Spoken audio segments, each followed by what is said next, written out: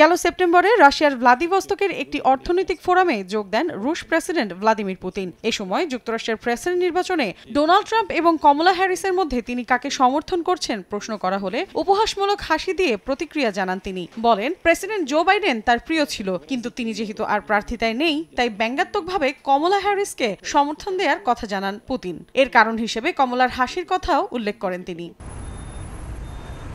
সাতচল্লিশতম মার্কিন প্রেসিডেন্ট নির্বাচন নিয়ে মিশ্র প্রতিক্রিয়া দেখা গেছে রুশ নাগরিকদের মাঝেও। আমি বিশ্বাস করি ডোনাল্ড ট্রাম্প জিতবেন কারণ বেশিরভাগ মানুষ তাকে সমর্থন করে। ট্রাম্পকে ক্ষমতায় আনতে রাশিয়া যে কোনো কিছু করতে রাজি। আমার মনে হয় কমলা হ্যারিসি জিতবে কারণ তার কাছে প্রশাসনিক সমর্থন রয়েছে। মার্কিন প্রেসিডেন্ট নির্বাচনের ফলাফল রাশিয়ার জন্য খুবই তাৎপর্যপূর্ণ।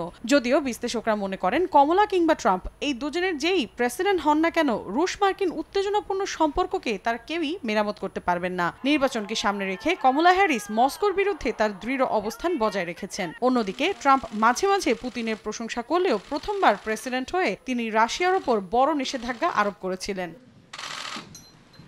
বিশ্লেষকদের মতে, উভয় প্রার্থী এমন অবস্থান বজায় রেখেছেন যা মস্কোর জন্য মোটেও অনুকূল নয়। কমলা হ্যারিস ইউক্রেনের পক্ষে তার জোরালো সমর্থন অব্যাহত রাখার পাশাপাশি রাশিয়ার তীব্র সমালোচনা করেছেন। বিপরীতে, ট্রাম্প ইউক্রেন ও রাশিয়ার যুদ্ধ শেষ করতে একটি সম্ভাব্য শান্তি আলোচনার ইঙ্গিত দিয়েছেন। যুদ্ধ শেষ হলে রাশিয়ার ওপর নিষেধাজ্ঞা তুলে নেয়ার প্রতিশ্রুতিও রয়েছে তার। এসব দিক বিবেচনা করে কিছু বিশ্লেষক বিশ্বাস করেন, কমলার চেয়ে ট্রাম্পই ক্রেমলিনের জন্য তুলনামূলকভাবে ভালো বিকল্প হতে পারেন।